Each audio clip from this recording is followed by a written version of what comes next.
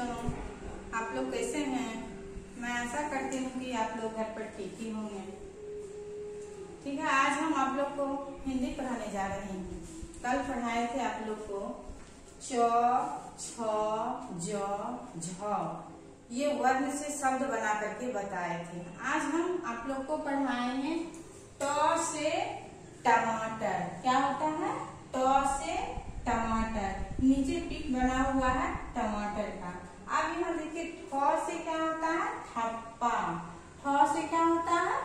ठप्पा। यहाँ देखिए, नीचे ठप्पा का पिक बना हुआ है। ठप्पा आप लोग समझते हैं? नहीं समझते होंगे।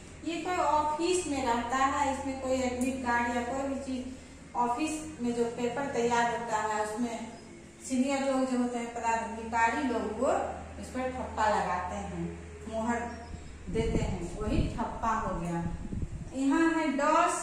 डमरू। यहाँ डमरू का पिक बना हुआ है। आप लोग डमरू देखे हैं कभी?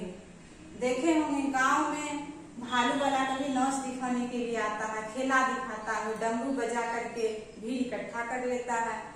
तब आप लोग गए होंगे कभी देखने के लिए? भालू का नाच। यहाँ है ढो से ढोल। यहाँ ढोल है। ढोल देखे ढोल भी बजाया जाता है, ऐसे करके उसमें डम डम की आवाज़ आती है ढोल में।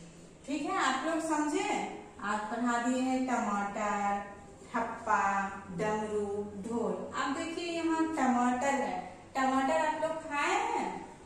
टमाटर का रंग कैसा होता है? रेड होता है, लाल होता है। टमाटर खाने से सेहत अच्छा रहता है। आप लोग सलाद में भी यूज़ करते होंगे टमाटर।